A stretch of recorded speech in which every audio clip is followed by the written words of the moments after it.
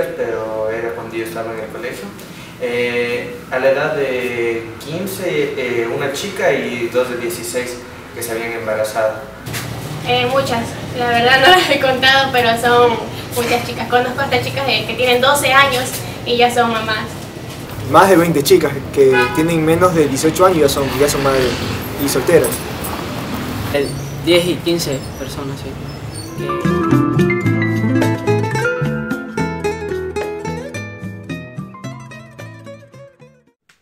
With more than 17% of the teenagers between 17 and 19 being mother, Ecuador is second highest on the list of countries with the most teenage pregnancies in South America. Shockingly, 2,000 girls between the age of 10 and 14 become pregnant every year.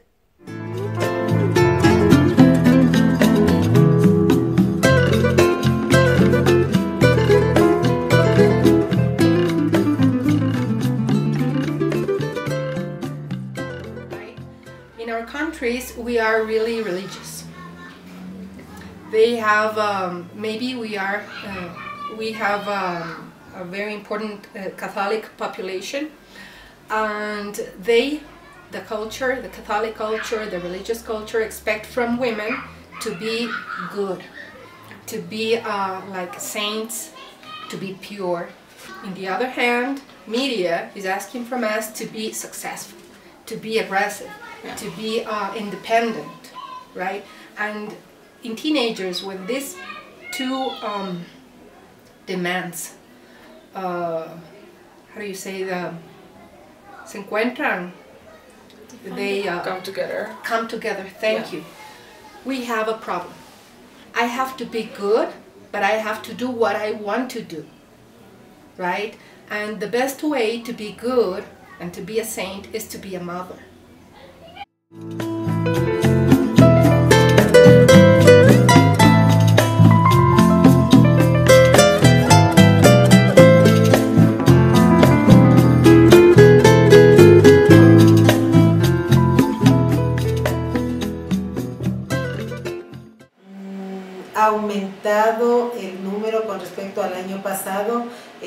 Muchos embarazos. Jovencitas de noveno, décimo año, ellas prácticamente ya están embarazadas. Entonces sí comienza una encrucijada para ellas y para la familia. Hay padres de familia que aceptan al bebé, aceptan la realidad y se hacen cargo y les ayudan y les permiten seguir estudiando. Pero asimismo hay jóvenes que no reciben esa ayuda y pues eh, incluso las niñas mandan de los hogares y les toca refugiarse en el hogar del chico. Entonces, en ese sentido, pues eh, hay mucha libertad por, por parte de los padres de familia en darles permiso para que vayan a bailes, a fiestas y ahí es cuando pasa eso.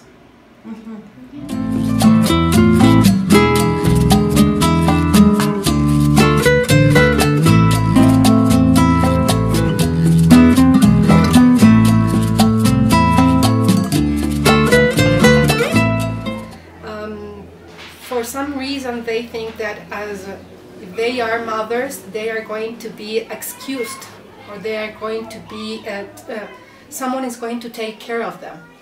Maybe a man or maybe the state. They are not alone because the state is taking care of them. So i'm not saying that the state shouldn't take care of them but i think that it's a, an, an easy way out to okay i'm a woman an independent woman and i am mother i am a mother so i'm um, pleasing both demands the media demand and the cultural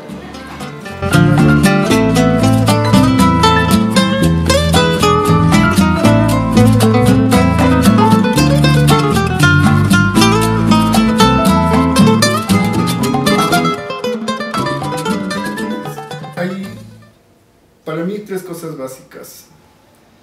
El- la falta de madurez mental para el inicio de relaciones.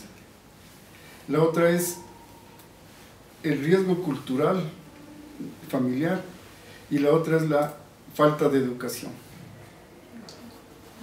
Es una percepción mía. El 100% de las chicas que se embarazan tienen una disfunción familiar. Me llamo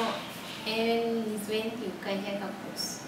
Ya, tengo 15 años, vivo con mi esposo, mi esposo tiene 20 años y trabajamos los dos en la panadería.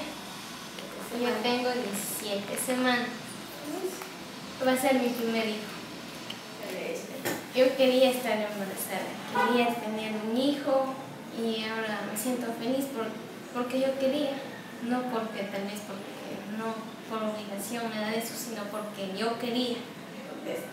Sí, sí tuve esa información, sino que como quería quedar embarazada, ya yo quise tener mi bebé no, no me cuidé con nada porque quise quedar embarazada. Yo sí sabía de todo lo que, o sea, la planificación que hay, todos los métodos que hay para cuidarse, pero yo no me quise cuidar porque quise tener a mi hijo.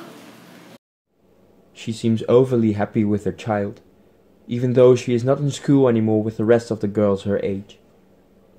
And does her boyfriend, or as she calls him, husband, know that having sex with a minor has severe consequences? And does she really know as much as she says? Other girls that did say in school seem to think otherwise.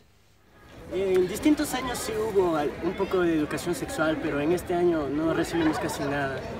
Y yo diría que eso es por falta de fondos o lo que sea, pero igual no hubo mucha educación de ese tipo.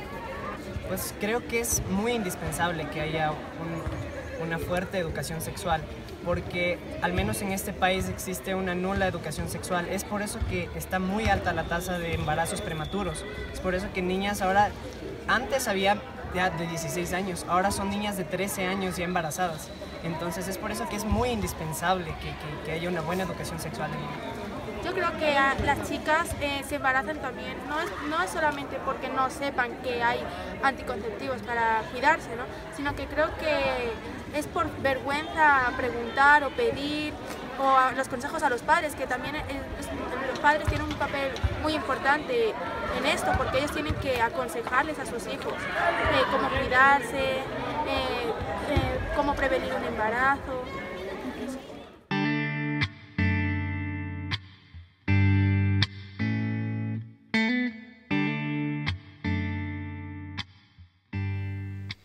So at least the education doesn't seem to be sufficient, according to the students.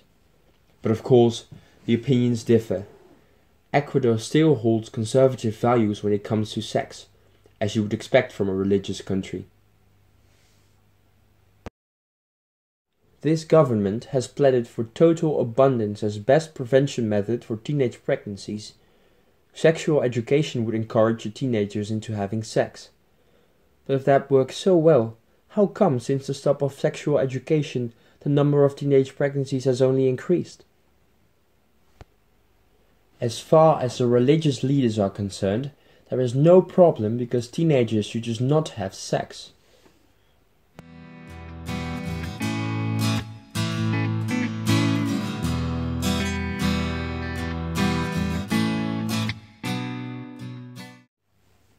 The ideal of a Virgin Mary does not seem to exist in the reality of Ecuador, but in politics it still appears to be about keeping up appearances.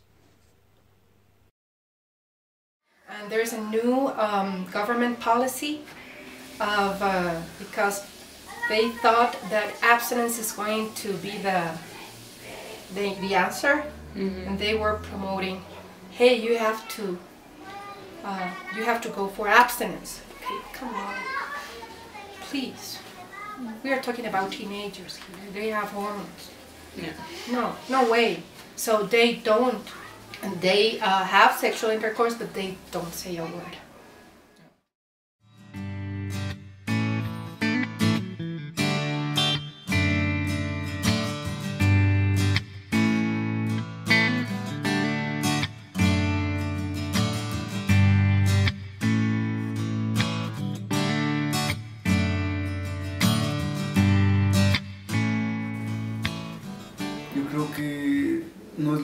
Que la abstinencia sea un método de planificación familiar.